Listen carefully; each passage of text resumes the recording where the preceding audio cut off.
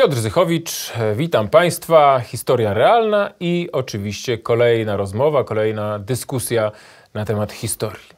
Gościem moim dzisiaj jest profesor Eugeniusz Cezary Król. Dzień dobry. Witam.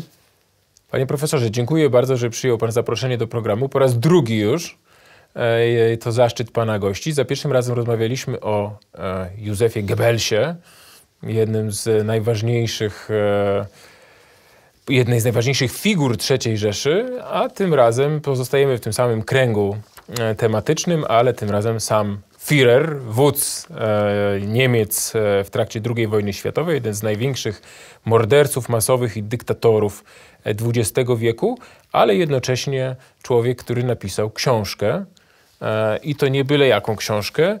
Mein Kampf ukazała się właśnie, drodzy Państwo, proszę, wydanie książki Hitlera, Mein Kampf, Moja walka. Jest to edycja krytyczna, którą przygotował właśnie pan profesor Eugeniusz Cezary Król. E, panie profesorze, gratuluję. Książka rzeczywiście mm, robi wielkie wrażenie. Jest to, dodajmy, druga edycja krytyczna e, Mein Kampf w ogóle na świecie po wydaniu niemieckim, które wyszło dobre parę lat temu, o tym jeszcze będziemy rozmawiali. E, książkę wydało wydawnictwo e, Belona.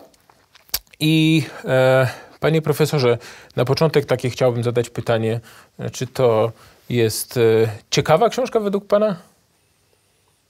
Ciekawa była praca nad tą książką, bo książka, o czym piszę obszernie we wstępie, ma bardzo wiele e, błędów, niedogodności. Ona jest w zasadzie w sensie stylistycznym, e, konstrukcyjnym nieudana. I nie jest to Niemczyzna e, wysokiej klasy z całą pewnością.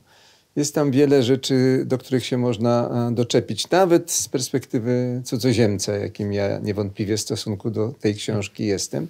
Więc w tym sensie to nie była y, bardzo miła przygoda z książką, natomiast y, mm, jakby to powiedzieć, kuchnia naukowa związana z wydaniem tej książki, no to już było coś rzeczywiście pasjonującego. No tak, panie profesorze, ja państwu bardzo polecam nie tylko samą książkę Mein Kampf oczywiście, ale rzeczywiście wstęp e, pana profesora i tam właśnie znalazłem między innymi informację, że Goebbels o który nasz bohater naszego, też antybohater naszego poprzedniego spotkania w historii realnej, mówił, e, nie, ja nie mogę czytać tego Mein Kampf. To jest strasznie napisane, mniej więcej to jest e, coś takiego, mimo że oczywiście e, wodza Führera e, uwielbiał Goebbels, ale uważał książkę za napisaną w bardzo złym stylu. Mm, ale to... Zwracam pana uwagę, przepraszam, że tylko raz mu się tak wypsnęło.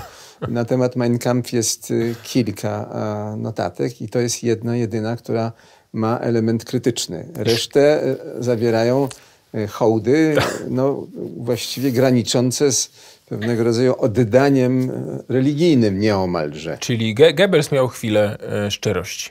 Ja, panie profesorze, chciałbym zadać pierwsze podstawowe pytanie takie i tutaj mam niespodziankę dla pana profesora, którą ukryłem przed panem przed wejściem do studia.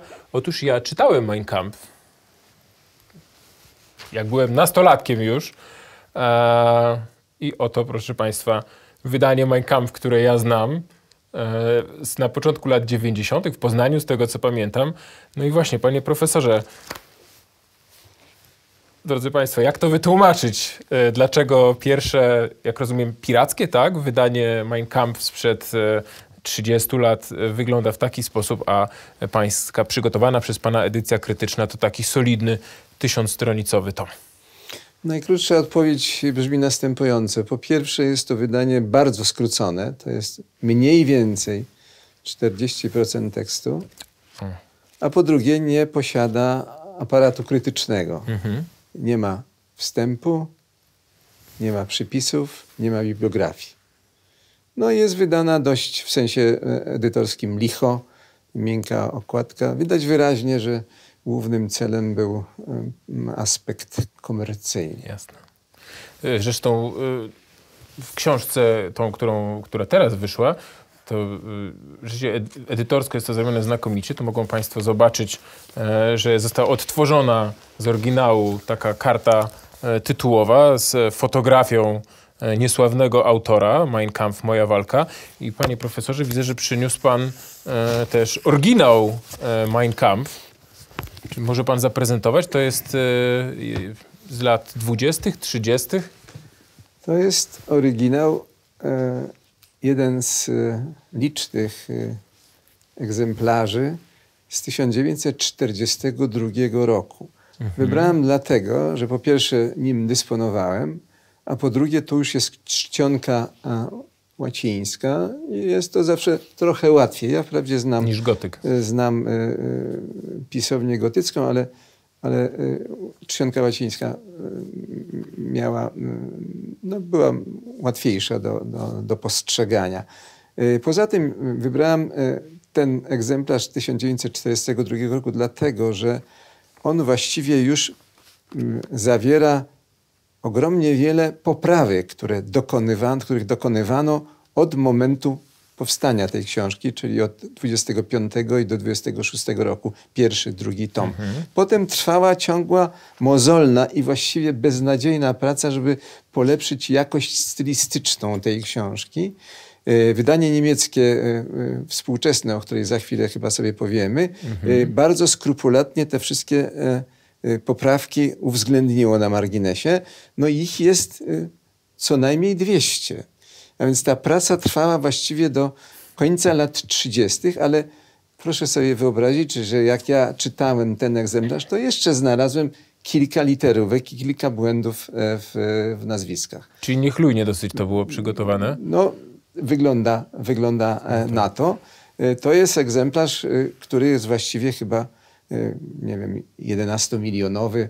E, Tu od razu może dodajmy, że e, generalna liczba wydanych egzemplarzy Mein Kampf III Rzeszy szacowana jest na 12,5 miliona egzemplarzy.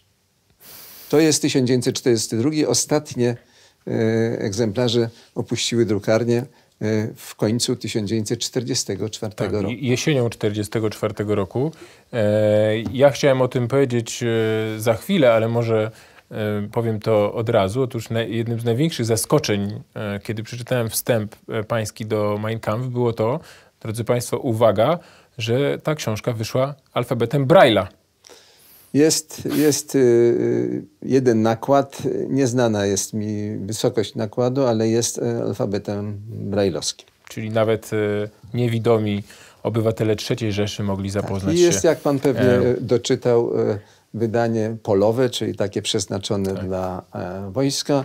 Jest też wydanie luksusowe e, w skórku. Ja mam takie półluksusowe w półskórku. Są też wydania bardzo tanie na, na lichym papierze. Słowem, e, próbowano e, stworzyć taką sytuację, że każdy Niemiec bez względu na stan majątkowy miał szansę dostać do ręki swej e, książkę wodza. Książkę wodza, a ja muszę powiedzieć, że czytałem kiedyś wspomnienia żołnierza z frontu wschodniego, który opowiadał, że książka wodza została użyta na froncie, a konkretnie kartki z niej Tak. do zupełnie innego celu e, niż e, czytanie, e, a konkretnie do dwóch celów. Pierwsze to skręcaną machorkę, e, k- czyli robiono takie skręty, a o drugim celu, do którego używano, to ze względu na oglądającą nas dziatwę szkolną, nie powiem. E, Dobrze, drodzy Państwo, e, ja, Panie Profesorze, proponuję, e, zanim porozmawiamy o tym, co jest w książce, jakie tam znalazły się treści, porozmawiamy chwilę o tym, o okolicznościach jej powstania, bo one są bardzo ciekawe. One są właściwie związane z puczem, z pierwszą próbą przejęcia władzy przez narodowych socjalistów w listopadzie 23 roku w Monachium. Jak rozumiem, e, Adolf Hitler próbował naśladować Mussoliniego, tak, i e, skopiować marsz czarnych koszul na e, Rzym, ale W tym przypadku brunatnych koszul. tak, wyszło jak wyszło. Wyszło jak wyszło i wylądował w więzieniu. Ale miał proces, panie? Miał proces oczywiście, który no, z, z punktu widzenia jego późniejszej kariery miał pozytywne dla niego znaczenie, bo przekształcił on swoje wystąpienia e, przed sądem w rodzaj trybuny e, propagującej e, cele narodowego socjalizmu. Zresztą skład sędziowski wyraźnie sympatyzował z zamachowcami, stąd wyroki były stosunkowo niewielkie, a w dodatku jeszcze potem zostały zredukowane, tak iż Adolf Hitler w, w twierdzy Landsberg nad Lechem, nad rzeką Lech, przesiedział raptem e, e, parę miesięcy. A dodajmy, że skazali go na 5 lat. Na 5 lat, ale siedział około 9 miesięcy. E, warunki odbywania kary były wręcz luksusowe. To był właściwie rodzaj sanatorium. Więźniowie mogli się porozumiewać między sobą, chodzić gdzie im się tylko podobało. Dostawali różnego rodzaju prezenty. Społeczeństwo w cudzysłowie, czyli y, zwolennicy narodowego socjalizmu, dostrzegli w tym oczywiście swojego męczennika. Stąd y, jego pobyt w więzieniu należy, jeśli patrzeć na jego karierę, zapisać y, na konto ma.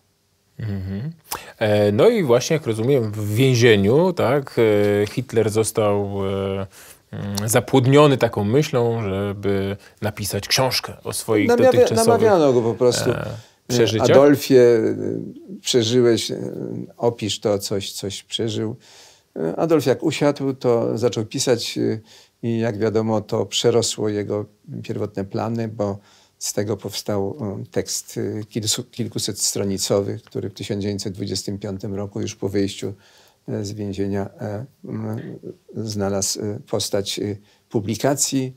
W następnym roku pojawił się drugi tom a więc do 1926 roku, do grudnia mamy Mein Kampf dwutomową, potem od 30 roku to stało się z tego Jednym. jeden wolumin. E, panie proszę, to co mnie e, zaciekawiło, to jest to, że e, Hitler sam nie pisał. To znaczy on dyktował komuś, kto pisał na maszynie, tak? Przynajmniej na początku.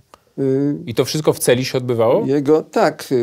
Notabene maszynę dostarczyła wielka zwolenniczką narodowego socjalizmu, e, reprezentantka sławnego skądinąd rodu producentów fortepianów, czyli Helene Bechstein. E, Hitler nie umiał dobrze pisać, ale są poświadczenia, które mówią, że część tego tekstu, tego maszynopisu to on napisał, ale większość dyktował to swojemu ówczesnemu najpierw nieformalnemu, a potem formalnemu sekretarzowi, czyli Rudolfowi Hessowi, który razem z nim odbywał karę więzienia. Y, manuskrypt, czyli ten maszynopis y, książki się nie zachował, bo adiutant Hitlera w 1945 roku miał polecenie zniszczenia wszystkiego, co stanowi majątek e, ruchomy Adolfa Hitlera i tak uczynił. Mhm. Panie proszę, ja wypisałem sobie z pańskiego wstępu e, nakłady e, Mein Kampf. Premiera, no, sprzedawało się nieźle, ale chyba poniżej oczekiwań Hitlera, bo pierwsza część e, 23 tysiące egzemplarzy, druga część 13 tysięcy. E, oczywiście mam na myśli, drodzy Państwo, wydania w 25-26 roku, ale przełomem oczywiście był rok 33, e, kiedy, jak rozumiem, stało się to rodzajem jakiegoś takiego półoficjalnego druku e, i wręczano Mein Kampf między innymi parom e, które brały ślub w III Rzeszy jako prezent od państwa. E, każdy partyjniak, jak rozumiem, no, wypadało, żeby w jego bibliotece na honorowym miejscu stała ta książka. To prawda, z tym, że dodałbym mały przypis. Y, przełom nastąpił już w 1930 roku po wygranych, y, po dobrze y, odbytych wyborach z punktu widzenia narodowego socjalizmu, kiedy NSDAP stało się drugą partią w parlamencie. Wtedy ruszyła na dobre sprzedaż. Natomiast 33 rok to już nie, nie tylko półoficjalnie, ale właściwie oficjalnie to się stał e, Mein Kampf się stała nieomalże drukiem urzędowym. Stąd ten pomysł z wręczaniem w 1936 roku nowożeńcom egzemplarza z odpowiednią dedykacją. Mam, panie profesorze, wrażenie, że im bardziej wzrastał nakład e, Mein Kampf i bardziej stawało się to właśnie takim obowiązkiem do przeczytania, to pewnie mniej osób to, e, tą książkę czytało, bo z reguły tak bywa, że e, książki, które wchodzą do kanonu, lektur, w cudzysłowie w tym przypadku, e, są omijane z góry i są tak zwanymi półkostaczami, prawda? Więc domyślam się, że tak, oczywiście, no każdy musiał mieć, ale e, zapewne, nie wiem, czy były badania, panie profesorze, ilu no dot, obywateli pan, III Rzeszy przeczytało myśli pan, wodza? Dotknął pan ważnej kwestii, bo e, no, ważną kwestią jest e, e, jak obchodzono się z książką wodza przy tak ogromnej produkcji. Badania poważniejsze miały miejsce oczywiście dopiero po wojnie, bo nikt takiej demoskopii przecież w czasie istnienia III Rzeszy nie prowadził. Z obecnie dostępnych badań wynika, że mniej więcej jedna piąta e, populacji niemieckiej e, czytała w całości bądź w dużych fragmentach, a więc to nie jest tak, że ludzie ze wstrętem odkładali albo stwierdzali nudne postawie w, e, w regale. Zaglądali, ponieważ to był zabieg opłacalny. Ktoś, kto umiał powołać się na myśli wodza, był dobrze widziany często dawano do zrozumienia podwładnym, aby rzucili okiem na e, tę książkę. Zresztą fragmenty tych książek, e, tej książki pojawiały się wielokrotnie w różnych konfiguracjach masmedialnych. Słowem, Mein Kampf to jest nie tylko stale rosnąca liczba nakładu, ale również pewnego rodzaju ruch tej książki. Nie sposób sobie założyć, że ta książka po prostu była drukowana i odkładana. Mhm. Ją na różny sposób propagowano, wspomagano, aby docierała do e, e, odbiorcy. E, inna kwestia to taka, co odbiorca o tej książce sobie myślał. Ja we wstępie no przytoczyłem szereg różnych uwag na temat tej książki. Po 1933 roku oczywiście uwagi krytyczne właściwie przestały w środkach masowego przekazu istnieć, ale do 1933 roku da się zauważyć sporo uwag, e, niekoniecznie entuzjastycznych dotyczących e, e, Mein Kampf, z obozów się. przeciwnych narodowego socjalizmu, no a więc ze środowiska katolic katolickiego, protestanckiego, socjaldemokratycznego i komunistycznego. Tak, ale jak powiedział pan, panie profesorze, o tym właśnie, że wypadało w pewnych kręgach znać myśli wodza, powoływać się na nie w artykułach i tak dalej, i tak. Przypomina mi się słynna książka Krótki kurs E, wszechzwiązkowej rosyjskiej partii bolszewików napisany przez e, Józefa Stalina, który również też był taką, prawda? Znaczy z, z udziałem Józefa Zredagowany, tak, tak można tak, tak powiedzieć, tak. który też był taką właśnie oficjalną książką, wykładnią, na którą wypadało co najmniej parę razy się wprawdzie e, powołać, żeby mm, być pewnym, że się, że się idzie dobrym śladem linii partii. E, panie profesorze, ostatnie mam pytanie, e, zanim przejdziemy do treści książki. Tłumaczenia. Czy Mein Kampf, no rzeczywiście 12,5 miliona egzemplarzy w III Rzeszy, w Niemczech to jest wynik no, absolutnie szalony, ale wynikał właśnie ze wspomagania tej książki przez państwo. Ale czy e, Mein Kampf miało tłumaczenia, czy było wydawane e, poza granicami Niemiec? Miało tłumaczenia i ma niestety e, nie tylko tłumaczenie w Polsce, ale również jeśli zliczyć liczbę języków, ja już nie pomnę, ale jest to na pewno około 40 języków, na które Mein Kampf w różnym czasie zostało przetłumaczone.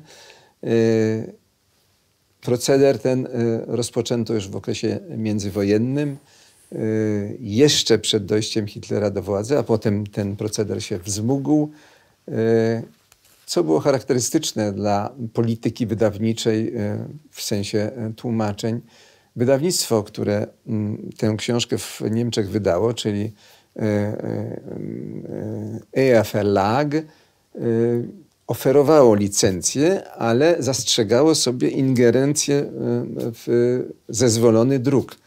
Mianowicie szybko dość naziści doszli do wniosku, że pewne treści w Mein Kampf są e, niewygodne zwłaszcza po 1933 roku, zwłaszcza ten bardzo ostry kurs antyfrancuski. E, Hitler zresztą, e, e, jak wzmiankują źródła wspomnieniowe, dawał do zrozumienia, że gdyby jeszcze raz napisał, to może bym pe pewne rzeczy stonował, ale wątku antyżydowskiego na pewno nie. Natomiast co do Francji, mógłby ewentualnie coś stonować, zresztą tłumaczył się, a właściwie tłumaczono go w sposób nieoficjalny zwłaszcza, że no, trzeba zrozumieć jego sytuację. On pisał to w sytuacji rozdrażnienia, kiedy znał już sytuację z Zagłębiem Rury, który, który to Zagłębie Rury było 23 roku okupowane, a więc trudno się dziwić jego rozżaleniu. I to trzeba brać e, pod uwagę, bo generalnie on jest za dobrymi stosunkami e, niemiecko-francuskimi. No, to jest taki typowy przykład. No, młody rewolucjonista, no, siedzi w więzieniu, nie ma żadnej odpowiedzialności, pisze wszystko, prawda? Natomiast jak już został kanclerzem, no to musi się liczyć z bieżącymi wymaganiami polityki e, III Rzeszy i pewne rzeczy, które pisał w więzieniu, w zupełnie innej sytuacji mogły się no dawano, być, dawa, e, dawano do zrozumienia pasować. w sposób e, głównie nieoficjalny, że tekst Mein Kampf to jest jedna sprawa, natomiast współczesne relacje międzypaństwowe to sprawa druga. Krótko mówiąc, Francja jest y, miejscem, gdzie wydawano e, Mein Kampf. Y, y, jest tam taka we wstępie dość ciekawa historia, że jeden z wydawców postanowił ominąć wymogi licencyjne i wydał Mein Kampf w całości. Naraził się na, na sąd i tak dalej, i tak dalej, ale generalnie Wielka Brytania, Francja, wszystkie poważniejsze kraje ten, tę Mein Kampf, kraje zachodnie, Mein Kampf e, wydało, głównie w wersji ocenzurowanej. Mhm. E, co się dzieje z Polską? No właśnie, to jest pytanie, czy książka wyszła w Polsce przed wojną? W Polsce e, była próba podjęta przez jedną z panią, panią redaktorek, która nawet wskazała wydawnictwo, które było gotowe podjąć się tego, tego tej edycji. Gebetnera i Wolfa, dodajmy, co pewnie miało taki sens, że to w końcu wydawnictwo prowadzone przez rodzinę pochodzenia niemieckiego, ale wydawnictwo niemieckie, czyli to wydawnictwo manka, matka Franz Verlag odmówiło licencji i w okresie międzywojennym w Polsce do edycji Mein Kampf nie doszło. E, można znaleźć opinię w internecie, że e, wydano do użytku wewnętrznego, na użytek mhm. zwłaszcza oficerów e, Wojska Polskiego, ograniczoną liczbę egzemplarzy. Przeczytałem też, że przynajmniej jeden z egzemplarzy powinien znajdować się w Osolineum wrocławskim. Wszedłem w kontakt z tym szacownym wydawnictwem i okazało się, że tam takiego wydawnictwa nie ma. Y, spenetrowałem też y, zawartość y, Wojskowego Archiwum pod Warszawą. Też okazuje się, że nie ma, nie ma śladu. śladu. takiego wydawnictwa do użytku. Bo to byłoby ciekawe, panie profesorze, bo wyda wydawałoby się, że Piłsudski najpierw, a potem Beck prowadzą swoją politykę przeciwko Niemcom, czy też e, grę e, międzynarodową, no wypadałoby, żeby znał treść książki, e, ale być może były jakieś skróty, może jakieś bryki e, dostarczano w raportach no, dyplomatycznych. Poszedłem za pańskim, e, za pańskim poglądem i zacząłem bardzo szczegółowo penetrować wydawnictwa wspomnieniowe, pisma Piłsudskiego, usiłując znaleźć chociaż element, który by wskazywał na lekturę Mein Kampf. Znalazłem, znalazłem tylko właściwie jeden, Y, ślad, y, ale y, wydawnictwa wspomnieniowe dyplomaty polskiego po wojnie, który biadał nad tym, że szkoda, że myśmy wtedy tak poważnie tej, tej lektury nie tak. przeanalizowali. Wiem też skądinąd, że Kazimierz Świtalski, znany Piłsudczyk, tak. bardzo starannie przeczytał Mein Kampf w oryginale i poczynił wiele uwag. Te uwagi są w Bibliotece Narodowej, można zajrzeć. Potem zajrzałem do dzienników Kazimierza Świtelskiego, które zostały wydane drukiem kilkanaście lat temu, ale ani słowa na temat Mein Kampf. Ani słowa. Ja to dodam, panie profesorze, że bohater z kolei mojej książki, Władysław Studnicki, książki Germanofil, e, też podjął próbę, e, chciał przetłumaczyć e, i uwaga, w połowie 1938 roku wydać w Polsce z własnym wstępem. Tak Mein Kampf napisał do Niemiec. Oni nawet na początku się zastanawiali, może tak, ale zapytali ambasadę e, i ambasadora von Moltke który urzędował w Warszawie, ambasadora III Rzeszy i on odpisał, nie, nie, to nie jest dobry pomysł, żeby Studnicki trowił, bo Studnicki jest pokłócony e, z obozem sanacyjnym, przegrał świeżo proces ze Starzyńskim, e, czyli prezydentem Warszawy oczywiście, no i to by przyniosło odwrotne skutki, to znaczy skłóciłoby nas z rządem polskim, na którym wówczas jeszcze zależało Niemcom i odmówili Studnickiemu też tej... Studnicki Także... książki nie wydał, natomiast y, popełnił kilka uwag e, na temat tak, on przeczytał książki. i pisał teksty e, w, tak. swoich, y, w swoich pismach. E, ale nie są to e, e, uwagi o jakimś istotnym, ważnym charakterze. Tak, to kilka artykułów w słowie tam wokół, wokół tego. Tam jeden z nich nazywał się najbardziej charakterystyczne postulaty polityki Hitlera, drugi artykuł polityka zagraniczna Hitlera i tak dalej, i tak dalej. Ale panie profesorze, jeszcze jedna rzecz, jak już jesteśmy przy tych licznych wydaniach, no i tej imponującej cyfrze 12,5 miliona egzemplarzy, co z honorariami? Przecież to Hitler, sprzedawszy tyle książek, powinien być właściwie miliarderem. Tak prawdopodobnie było. To jest oczywiście y, y, wiadomość nieoficjalna, zakulisowa. Hitler y, dostawał tantiemy z, mhm. z, z wydania od egzemplarza. Jego e, dochody z tego tytułu były ulokowane w jednym z banków e, szwajcarskich po wojnie e, dotarto do e, tych e, pieniędzy za sprawą aliantów i pieniądze te, według tego, co udało mi się ustalić, zostały przeznaczone na pomoc dla ofiar wojny. O. Tak najgeneralniej biorąc. Ale rzeczywiście miał pan rację, dochody Adolfa Hitlera z tytułu sprzedaży Mein Kampf były ogromne. E, on sobie zresztą pozwolił na taki gest propagandowy, że zrezygnował e, z, z wynagrodzenia Führera, czyli wodza III Rzeszy i kanclerza. Powiedział, że to nie jest dla niego tak istotne. No, za kulisami było wiadomo, że miały inne źródło dochodu. No tak. Ale poza tym, panie profesorze, wszystkie potrzeby codzienne Hitlera państwo zaspokajało, prawda? Począwszy od e, posiłków, e, wspaniałej rezydencji górskiej i tak dalej, i tak dalej, no to z drugiej strony był to człowiek, który nie miał dużych wydatków prywatnych. Nie wiem, czy Hitler chodził do sklepu po nie 38, 9 czy 41 miał roku kupić masło. gospodynię e, pochodzącą no z jego rodziny, a poza tym to był ten typ dyktatora podobny do innych, który nie przywiązywał do tego, zdawałoby się, wagi, bo wszystko miał po prostu e, tak. dostawione, że tak powiem. Jego... Podobnie zachowywał się przecież Stalin, tak podobnie jest. zachowywał się Mussolini. Tak. Namiętnością... Nie gromadzili majątków. Tak, namiętnością tych ludzi była władza, e, wielka polityka, a Zapanowanie nie nad nędzne, szerokimi masami. Tak, a nie nędzne jakieś tam finansowe ochłapy.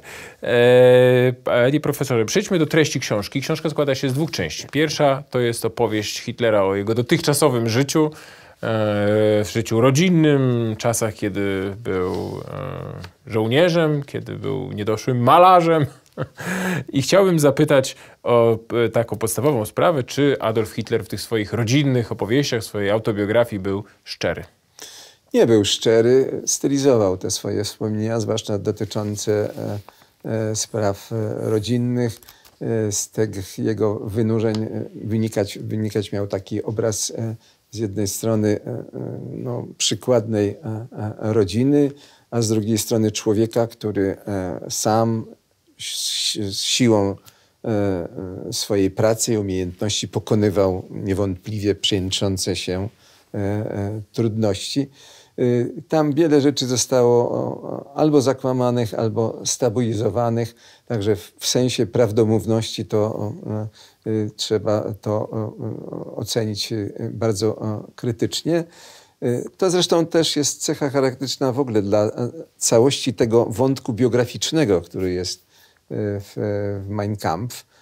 Około tak siedem, nie, osiem rozdziałów z dwudziestu ośmiu Y, poświęconych jest y, y, sprawom mm, rodzinno-osobistym. Reszta to są sprawy dotyczące już kwestii ogólniejszych. I ten wątek jest e, wątkiem moim zdaniem mm, no, mocno podejrzanym, jeśli chodzi o wiarygodność. Mhm. Tam chyba y, z tego, co y, czytałem u pana we wstępie, no to ogólnie rzecz biorąc, stosunki z ojcem Hitlera układały się w dosyć y, szorstki sposób.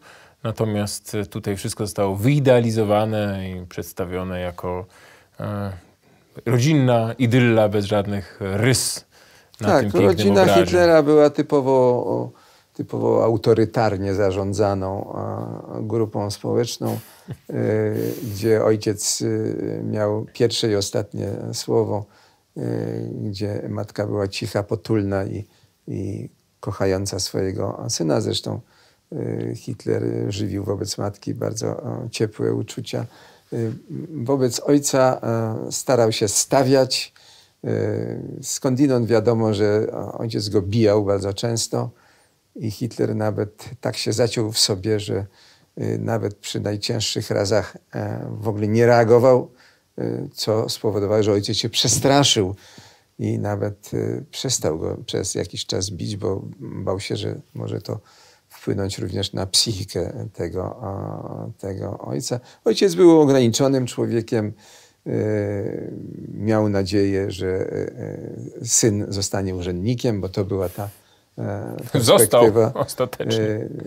Ale i wyższego szczebla chyba niż Ale ojciec kiedy się usłyszał, że syn wybiera się studiować do Akademii Sztuk Pięknych do Wiednia no, stanowił, posta, postawił silny opór, który, jak wynika to e, z Mein Kampf, e, syn przełamał i rzeczywiście poszedł e, zdawać egzaminy do Wiednia. No i właśnie nie, niech szlak trafi tych profesorów, którzy go oblali, obcięli na tych egzaminach, bo być może um, światu zaoszczędzone by zostało wiele cierpień ludzkości, gdyby Hitler się realizował jako malarz, na marginesie a nie jako dyktator. Pewnie pan, pewnie pan e, widział i słyszał, że e, e, czasami się tak przebąkuje, że tak właściwie to, to, to, to, to, co Hitler malował, to wcale nie było takie złe.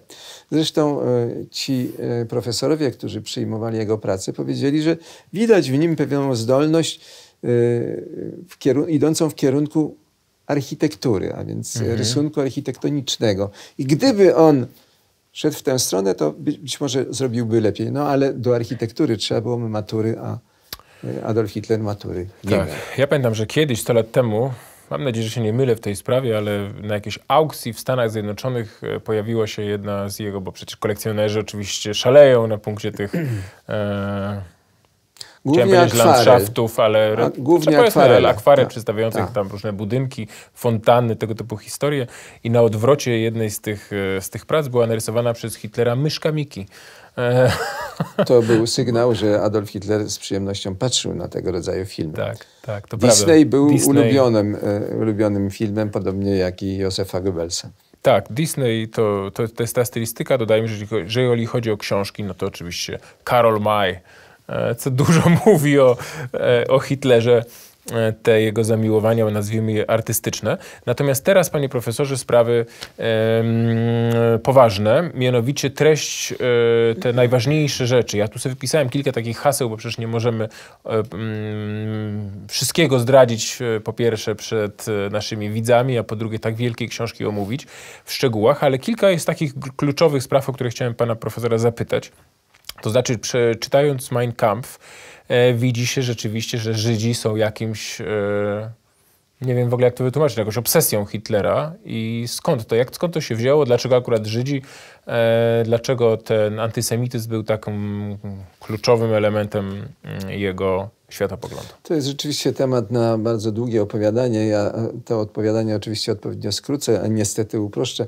Są moim zdaniem dwa źródła tego e, E, wręcz w pewnym momencie zoologicznego antysemityzmu. Mianowicie z jednej strony e, to jest wpływ tego środowiska, w którym e, wyrastał politycznie Adolf Hitler, a więc środowisko folkizmu, takiego specyficznego ruchu społecznego w Niemczech, którego wyraźną cechą był antysemityzm, a z drugiej strony jego doznania osobiste, mianowicie zwłaszcza jego pobyt e, w Wiedniu, który dla niego był pasmem udręk i szukając odpowiedzi na to pytanie, dlaczego mu się tak źle wiedzie w tym Wiedniu, Hitler znajdował odpowiedź następującą. To miasto jest tyglem narodowościowym, gdzie rej wodzą Żydzi i Słowianie. Napatrzył się tam na te kontrasty oczywiste dla e, wielkiego miasta e, i na tę e, dość istotną rolę mieszkańców pochodzenia żydowskiego i uznał, że Żydzi to są właśnie ci, którzy są źródłem jego wiedeńskiego nieszczęścia, że należy ich zwalczać, a tę osłonę teoretyczną do takiego myślenia zapewniała mu ta e, szeroka gama e, ruchów antysemickich, które e, rozwinęły się w Niemczech i w Austrii od drugiej połowy XIX wieku. Ruch pangermański, ruch folkistowski, wszystkie miały zawartość antysemityzmu. To był taki antysemityzm, który, w którym było stosunkowo niewielu Żydów bo liczba e, ludności pochodzenia żydowskiego w Niemczech była stosunkowo niewielka, stąd e, e, to był taki antysemityzm bardzo mocno podrasowany. Zwracano uwagę na nadreprezentację w niektórych zawodach z udziałem ludności żydowskiej, ale w sensie liczb bezwzględnych liczba Żydów była stosunkowo niewielka. E, a więc był to taki antysemityzm no, mocno napompowany. Tak. Poza tym dodajmy, panie profesorze, że Żydzi niemieccy byli e, głęboko zasymilowani, mówili po niemiecku, byli weteranami I wojny światowej. E, nie było tam tak zwanych Ostjuden, prawda, którzy nosiliby pejsy, hałaty e, tych ultraortodoksyjnych Żydów. Z nimi się Niemcy dopiero zetknęli mm, okupując Polskę w 1939 roku. E, ale panie profesorze, istnieje taka szkoła szczególnie popularna w Ameryce. Powstają mnóstwo książek, które sprowadzają się do tego, że ich autorzy robią Hitlerowi psychoanalizę. E, no, one wychodzą lepiej lub gorzej, te książki, ale jednym z takich głównych e, oczywiście e, przedmiotów badawczych, oczywiście jak to bywa u Freuda, jest stosunek Hitlera wobec matki, e, no i e, ojca, ale w tym przypadku chodzi o to, że lekarzem mamy Hitlera był e, żydowski lekarz, którym zresztą Hitler miał, no właśnie, i to jest moje pytanie, jaki do niego stosunek, no ale fiasko, tak jak rozumiem, z tego co pamiętam z tych, e, z tych książek, z tych opracowań tej terapii, śmierć mamy była jakimś takim powodem, w którym on to rozumiem, tą swoją frustrację e, i, i, przerzucił na tego lekarza, jak na tego lekarza, to na wszystkich Żydów, ale czy chyba rozumiem, że to są jakieś dosyć mocno dęte sprawy. Jaka jest pa, opinia pana profesora na ten temat? No moja opinia jest taka, e, że ta myśl idzie w złym kierunku, mianowicie e, e, lekarz, który opiekował się e, matką Hitlera, był postrzegana przez Hitlera w bardzo jasnych barwach. Hitler szanował bardzo doktora Morela, nawet do tego stopnia, że potem zapewnił mu nietykalność. Otóż to. Stąd Morel i jego związki z rodziną Hitlerów to jest czas sprzed Wiednia. Y, ten Wiedeń jest takim momentem zwrotnym, jeśli chodzi o napędzanie się antysemityzmem przez y, Hitlera. Mhm. Panie profesorze, yy, Żydzi to jest ten pierwszy punkt, o którym chciałem porozmawiać, jeżeli chodzi o zawartość Mein Kampf i rzeczywiście tutaj te wycieczki Hitlera e, są obsesyjne i to powtarza się jakaś taka nić przewodnia tej sporej części tej książki. E, druga sprawa to jest e, ekspansja terytorialna i Lebensraum, czy e, tutaj w tej książce, bo to jest właśnie interesujące pytanie, które zawsze stawiają wszyscy e, hitlerolodzy, że tak można powiedzieć, i badacze Hitlera, to znaczy e, różnica między teorią a praktyką. Czy Hitler był doktrynerem, który już siedząc w więzieniu e, w latach dwudziestych opracował swoje plany ekspansji na wschodzie, które potem opisał oczywiście w Mein Kampf, a potem realizował z żelazną konsekwencją przez całą wojnę. E, czy też odwrotnie, był e, elastycznym, pragmatycznym politykiem, który coś tam potrafił napisać, potem robić coś dokładnie odwrotnego. Mm, krótko mówiąc, teoria, praktyka. Czy w tej książce, w Mein Kampf, co jest na temat Lebensraum, na temat rozszerzenia przestrzeni życiowej Niemiec na wschodzie, stworzenia imperium kolonialnego e, na terenach Związku Sowieckiego, czy może gdzieś indziej. E, czy tutaj już można było przewidzieć, e, uważnie czytając tą książkę, operację Barbarossa? Mm, jak pan pewnie wie, Hitler nie był pod tym względem oryginalny hasło Lebensraum to nie jest jego wynalazek, to jest wynalazek e, grupy e, e, geopolityków niemieckich i nie tylko. Samo określenie Lebensraum pochodzi od kogoś innego. To zostało przejęte przez Hitlera, podobnie jak wiele innych elementów należących do jego doktryny, czy też jak on lubił to nazywać, do jego światopoglądu. Który był kolarzem różnych poglądów różnych innych ludzi. To jest y, zbiór y, y, eklektyczny różnego rodzaju haseł. Zresztą jak się czyta Mein Kampf, widać wyraźnie, że pewne pomysły pochodzą z różnych zbiorów. No, mhm. po prostu typowy, eklektyczny zbiór haseł, któremu przydano oczywiście chwałę e, doktryny, czy nawet e, i, i ideologii. Natomiast co się tyczy e, zastosowania tego hasła, no cóż, Lebensraum w 1925-26 roku stał się straszliwą rzeczywistością w 1939-1941. Był pewien problem, mianowicie taki, że w Mein Kampf jest wyraźnie napisane, że y, ten kierunek ekspansji, którą Niemcy powinni obrać, to nie jest ani zachód, ani południe Europy, ani y, obszar kolonialny, taki jak był charakterystyczny dla II e, Rzeszy, tylko trzeba iść na wschód. Y, trzeba iść na wschód, a tym krajem, w którym trzeba budować niemiecki Lebensraum jest Rosja i zniewolone przez nią państwa ościenne. Koniec cytatu. Właśnie. Czyli Ukraina, Białoruś. Tak. Ukraina, Białoruś. I teraz jest pytanie, czy Polska też jest tutaj brana w rachubę, czy nie? Ja na to pytanie odpowiadam znakiem zapytania. Nie ma wyraźnej e, odpowiedzi. Można się zastanawiać, czy Hitler być może antycypował w 1925 roku to, co potem realizował. Czy Hitler jeszcze nie miał odpowiedzi na, na to pytanie? Wydaje mi się, że prawda jest e, bliższa e, tej drugiej tezie. Jak wiadomo, w 1934 roku III Rzesza podjęła próbę dogadania się z Polską i były wyraźne e, wysiłki, między innymi Hermana Göringa, który w, tej, w tym celu przyjeżdżał do Polski parę razy na polowania, żeby namówić Polaków do wspólnego marszu na wschód. No bo z 25-26 roku perspektywa była następująca. Jeśli iść na Rosję, to albo przez Polskę, albo z, albo z Polską. Jasne. To pytanie nie zostało jeszcze wtedy rozstrzygnięte. Tak, ale w sprawach właśnie polskich, yy, i to od razu Państwu zdradzę, że yy, czytelnicy, którzy oczekują tutaj jakichś wielkich yy, części Mein Kampf poświęconych Polsce, sprawom polskim, będą bardzo rozczarowani. To są właściwie niewielkie, niewielkie wzmianki, ale Hitler w sprawie Polski rzeczywiście, no w latach dwudziestych zdarzały mu się antypolskie wypowiedzi. W 1934 roku po podpisaniu paktu 26 stycznia zamienił się w gołąbka pokoju, potem znowu przestawił wajchę e, i w ogóle jego polityka, żeby chociaż spojrzeć szerzej, nie tylko na Polskę, ale Związek Sowiecki, prawda, no też była dosyć elastyczna. E, we wtorek Sowieci byli potworami, e, w środę przyjaciółmi, a w czwartek znowu e, śmiertelnymi wrogami.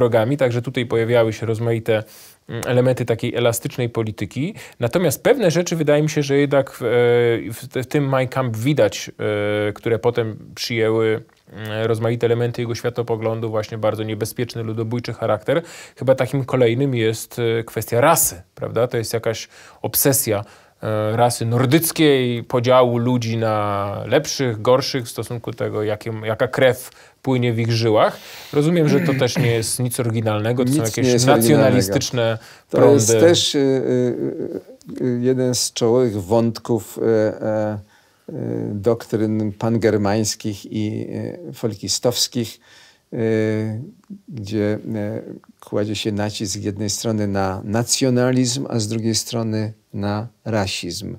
Y, Przy założeniu, że y, tą strategią to jest budowa Volksgemeinschaft, wspólnoty narodowej, która będzie pozbawiona wrogów, zarówno rasowych, jak i politycznych.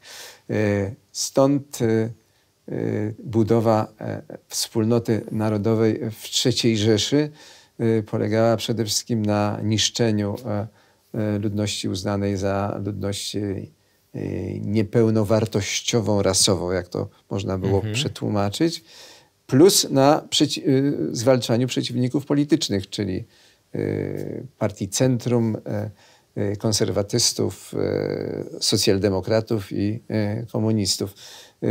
Ta wspólnota narodowa to, to jest trzon y, tego światopoglądu państwa folkistowskiego, który Hitler zamierzał zbudować i zarysy tego państwa folkistowskiego y, można odnaleźć bardzo wyraźnie w y, Mein Kampf. To jest oczywiście wszystko in statu nascendi, wszystko w budowaniu, ale późniejsze lata wyraźnie pokazują, że to, co jest zapisane pod tym względem w Mein Kampf, jest realizowane, niestety ze śmiertelną konsekwencją. No bo rzeczywiście, no proszę zwrócić uwagę, że to te grupy, które on wymienia jako wrogie, jako niepasujące do tego ideału, który on chciał w tej swojej utopii, bo przecież to były utopijne założenia tej ideologii osiągnąć, no spadają na nie różne potworne prześladowania. Operacja T4, prawda, czyli likwidacja życia, niegodnego życia, żeby tą rasę oczyścić z osób niepełnosprawnych, chorych, również dzieci, to jedna z największych, straszliwszych zbrodni w dziejach świata.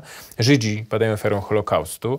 E, Słowianie rozmaitych potwornych e, ludobójczych działań w latach 39-45.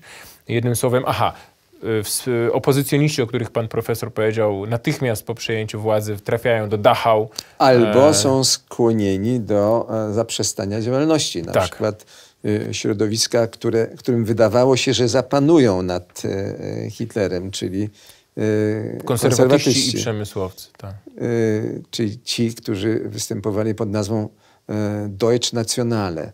Mhm. Y, Zostali skłonieni po prostu do zaprzestania działalności i ten ruch, bardzo istotny y, w, w okresie międzywojennym, się po prostu rozpłynął.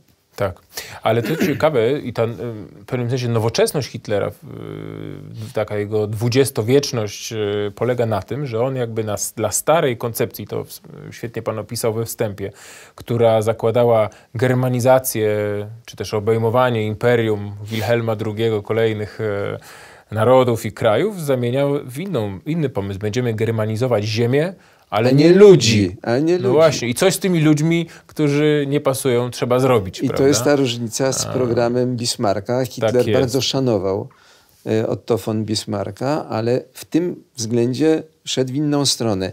Germanizować to znaczy zajmować ziemię przez niemieckiego chłopa, Bauera, który jest istotą e, tego programu folkistowskiego. Natomiast nie germanizować ludzi, bo to nie ma sensu. Tak, chociaż akurat, panie profesorze, muszę powiedzieć, że w praktyce bywało różnie, bo na przykład widać różnicę między krajem Warty a e, Pomorzem, gdzie jeden Gauleiter stwierdził, że jednak zgermanizuje ludzi na Pomorzu i oni przecież e, masowo zostali włączeni do Volkslisty, a w Wielkopolsce to tak już nie wyglądało. Efekt był taki, że Wielkopolan było e, bardzo niewielu w Wehrmachcie, a niestety przymusowo Pan wcielono wie, że do olbrzymią tego część służył, Pomorzan. służył program, e, który potem był Do realizowany, mianowicie e, e, e, regermanizacji e, Niemców, którzy zostali spolonizowani. Tak. A pod to pomysł. można było wiele rzeczy pod, e, podpiąć, tak. E, Panie profesorze, ostatnia sprawa, jeżeli chodzi o zawartość e, Mein Kampf, w ogóle światopogląd Hitlera, zanim przejdziemy do tego, jakie były losy tej książki e, po wojnie, po śmierci jej autora. E, Panie profesorze, a w ogóle taka sprawa jak religia. czy y, co jakieś ślady y, przekonań religijnych Hitlera widzimy w tej książce? Czy w ogóle Hitler był osobą wierzącą? No bo był, e, formalnie rzecz biorąc, był ochrzczony, był katolikiem, prawda? E, do, do mszy służył, śpiewał w chórze? Nie, nic z tych rzeczy. Natomiast y, y, chodził często do, do klasztoru, bo podziwiał tamtejszą architekturę. Tam znalazł zresztą motywy swastyki, y, co utwierdziło go w przekonaniu, że to jest y, element godny y, zastosowania również y, w symbolice e, ruchu. Y, Jest pewien spór na temat tego, czy Hitler y, wierzył w Boga, czy nie, a jeśli wierzył, to jak. Y, Na ten temat napisano bardzo wiele y, stron. W Mein Kampf na temat y, religii właściwie nie ma prawie nic. Y, y, Wiadomo skądinąd, że y, Hitler przejął pewne pomysły od swojego ideologa Alfreda Rosenberga, który w książce Mit XX wieku zaprezentował koncepcję narodowego kościoła niemieckiego, czyli kościoła, który będzie pod kontrolą państwa totalitarnego. E, Sam Hitler e, e, należy założyć, że mm, wierzył w postać e, e, nadprzyrodzoną, a na pewno wierzył w to, że jest wysłannikiem tej postaci e, na ziemi, w czym otwierdzał się przez fakt, że uszedł tak wielu zamachom organizowanym na jego życie. Tych zamachów było chyba ze 40 i rzeczywiście jakimś dziwacznym zupełnie e, splotem okoliczności, a może wpływem opatrzności Hitler wychodził z tych zamachów obronną ręką, co go tym bardziej utwierdzało, że on jest wysłannikiem najwyższego i, i że jego program w związku z tym jest akceptowany przez osobę stojącą wyżej. Opatrzność, on czasami używał Tak, takiego określenia. tak. To Pamiętam, że takie w jednych wspomnieniach jest taka opowieść, że jak e, konserwatyści, o których wspominał pan profesor, e, tutaj postaty ramieniem, które wykonała, to był oczywiście pułkownik Stauffenberg. E, wysadzili Hitlera w powietrze, on miał kupę szczęścia, bo się położył na tym dębowym stole i ten noga stołowa i plus blat wziął cały impet na siebie. No ale Hitler stoi, bębenki ma pęknięte, portki poszarpane, jeszcze jest w takim szoku po, po eksplozji bomby w Wilczym Szańcu. Podchodzi do niego grupa jakichś tam zaniepokojonych oficerów i on mówi opatrzność znowu mnie ocaliła. To jest znak dla mnie i dla Niemiec, że, e, że, że, że jest, e, no właśnie, ta wyższa istota po naszej stronie. Oczywiście i całe szczęście Hitler się grubo mylił, był w tej sprawie e, mitomanem. E, Panie profesorze, Hitler e, strzela sobie w głowę w kwietniu 1945 roku w e, bunkrze pod kancelarią Rzeszy. Parę dni później e, trzecia Rzesza, która miała istnieć lat tysiąc, przestaje istnieć po zaledwie 12. E, I no właśnie, co się dzieje? Bo prawa autorskie według e, prawa rzymskiego są dziedziczone. I kto odziedziczył prawa do Mein Kampf? Kto mógł zarabiać na tej książce po śmierci autora? Prawa te e, przejęli alianci, a ściśle biorąc Amerykanie, bo oni okupowali południowe e, Niemcy i przekazali e, prawa do tej książki e, rządowi bawarskiemu, powojennemu, a ściśle biorąc Ministerstwu Finansów tegoż rządu. I e, rząd bawarski zarządzał tymi prawami przez 70 lat, tak jak stanowi to stosowne prawo. Początkowo było 50, potem przesunięto na 70. Czyli do roku, bo przejęli w którym? W 45. piątym. 45. Mhm. Czyli już właściwie wygasło to, tak? E, No, wygasło w, 1900, e, w 2015 roku. Tak. I, w, i, 2015 przez ten czas polityka a, władz niemieckich polegała na tym, żeby y, nie doprowadzać do wydawania kolejnych e, edycji e, Mein Kampf. E, Jeśli y, gdzieś wydawano, to władze niemieckie się temu przeciwstawiały. I Dlaczego, panie profesorze? Ponieważ uznawały, że jest to um, no, krzywienie jednak ideologii uznanej za zbrodniczą. E, I gdzie mogły, starały się e, temu zapobiegać. To znaczy najlepiej im to wychodziło na terenie Niemiec. Oczywiście. Rzeczywiście do, 2015 roku nie ukazały się żadne wydawnictwa związane z Mein Kampf. Natomiast poza granicami Niemiec było różnie. Niemcy się nawet skarżyli, ale na przykład Sąd Najwyższy Szwecji powiedział, że to, przy całym szacunku, ale władze niemieckie nie mają nic do tego. W, w Polsce, kiedy władze bawarskie się poskarżyły, rząd polski stosunkowo niedawno zareagował i y, próbowano skonfiskować y, y, takie właśnie publikacje, które pan pokazał. Mhm. Policja biegała po księgarniach i konfiskowała a wydawca został skazany na grzywnę i na wyrok więzienia w zawieszeniu. Więc z tym było różnie. No tak, ale, ale panie... wszystko to skończyło się w 2015 roku. No właśnie, roku. i jak rozumiem, e, przyniósł pan, i to chciałbym państwu, gdyby pan profesor mógł zademonstrować, te dwa olbrzymie tomy. Co to jest, panie profesorze? Bo to wygląda na rodzaj jakiejś e, encyklopedii powszechnej. To jest krytyczne wydanie Mein Kampf, e, e, wydane w Niemczech w 2016 roku. Władze niemieckie e, próbowały antycypować rozwój wydarzeń. Doszło do porozumienia między rządem bawarskim a Instytutem Historii Najnowszej w Monachium. To takie bardzo szacowne, ważne, szacowny, ważny instytut że Instytut Niemiecki wyda krytyczne wydanie, e, a władze niemieckie e, sfinansują to. W grę wchodziło pół e, miliona euro.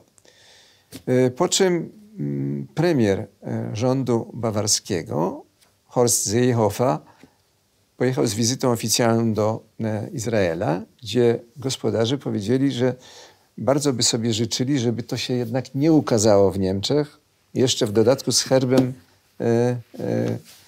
państwa bawarskiego. Mhm.